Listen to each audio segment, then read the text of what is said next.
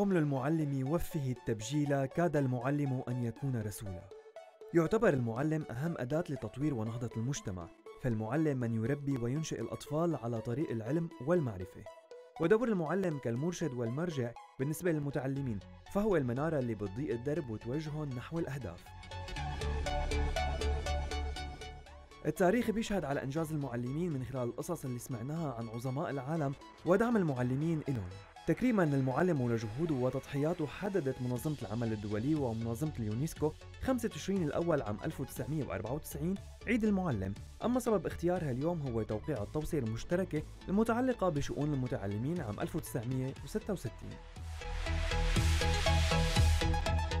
بتحتفل أكثر من 100 دولة حول العالم بهاليوم وفي دول كتير بتحتفل بمواعيد تانية مثل الصين والأرجنتين ب 10 سبتمبر المكسيك ب 15 مايو لبنان ب 3 مارس مصر ب 21 ديسمبر وبسوريا الخميس الثالث من مارس.